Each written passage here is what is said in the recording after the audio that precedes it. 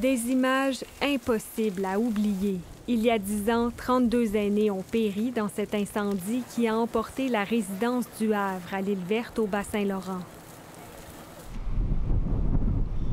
Pour éviter qu'un tel drame ne se reproduise, Québec a modifié la réglementation et force depuis 2015 les propriétaires de résidences pour personnes âgées à munir leurs bâtiments de gicleurs. Pour nous, c'est important que la... Une tâche qui s'avère colossale dans certains cas. Les nouveaux propriétaires de ce couvent converti en résidence pour aînés ont du pain sur la planche. On parle de 3-4 millions pour les gicleurs. On prévoit en automne 2024 de commencer au niveau gicleurs pour faire le, gros travail parce que c'est un gros travail. Hein.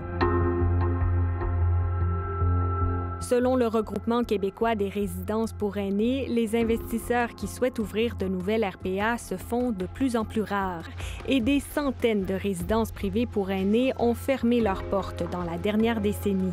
Il y en a probablement entre 5 et 600 qui ont, été, qui ont fermé à cause des gicleurs et de la réglementation sur les gicleurs. Honnêtement, de notre perspective à nous, c'était une décision politique, d'image politique. Parmi les résidences qui doivent se munir de gicleurs, environ une sur huit ne l'a pas encore fait, selon les données du ministère de la Santé. D'après nous, d'ici décembre 2024, l'an prochain, euh, on va probablement avoir entre 150 et 200 de ces résidences-là qui vont abandonner et fermer. Des subventions existent pour aider les propriétaires à défrayer les coûts de l'installation de gicleurs, mais elles ne couvrent pas tout.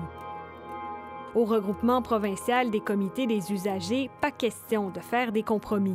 La sécurité euh, des personnes âgées, les personnes vulnérables, ça n'a pas de prix. Il faut vraiment que toutes les résidences puissent avoir des gicleurs le plus rapidement possible, puis que le gouvernement fasse un effort. Il en fait bien pour d'autres choses. Hein? Vous, c'est votre deuxième couvent?